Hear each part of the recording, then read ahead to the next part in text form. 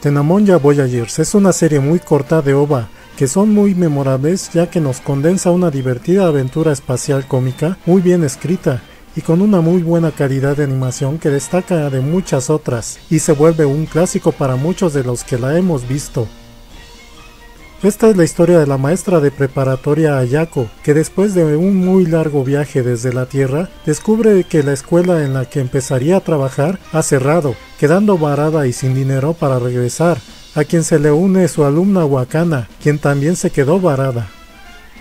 Así mientras averiguan cómo regresar, se les une por accidente la misteriosa Paraila en su viaje de regreso a la Tierra, buscando en cada parada por varios métodos algún medio de transporte y dinero para su largo viaje.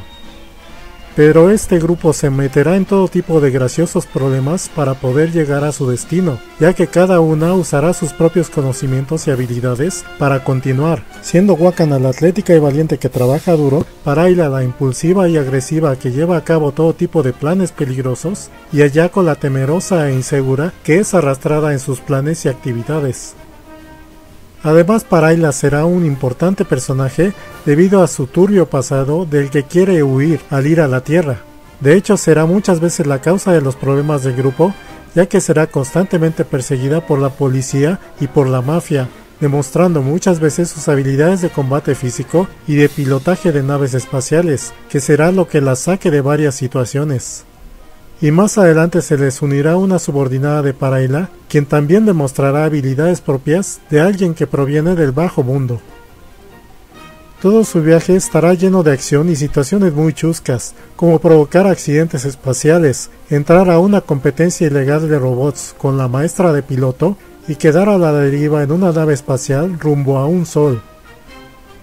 Debido a la poca publicidad que se ha hecho de esta serie, Aparte de ser poco conocida solo en su época, muchos tienen una impresión errónea de esta serie, ya que aunque sí contiene fanservice, que es lo que más se muestra en video e imágenes, no es algo de lo que se abuse, sirviendo a su propósito y encajando bien en la historia, agregando incluso un detalle cómico en los momentos que se muestra.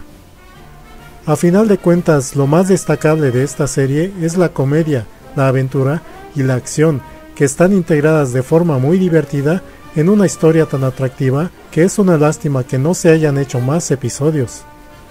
En el aspecto musical la selección no pudo ser más adecuada, con un tema de entrada tomado de un viejo programa de radio japonés que además de ser pegajoso, retrata bien la comedia y formato irreverente de la serie, con una buena canción de salida y música de fondo que encaja muy bien con la emoción de cada escena. La animación y dibujo, aunque es muy característico de los noventas, tiene muy buena calidad de producción y una ilustración que nos transporta a cada escenario por el que viajan las protagonistas, además de que el diseño de personajes caracteriza muy bien la personalidad de cada uno de los personajes importantes. Esta es una serie que recomiendo mucho, sobre todo si quieres pasar un buen rato emocionante y divertido, aunque tal vez no sea muy apta para niños debido a su fanservice y violencia, además de su historia que puede parecerles enredada.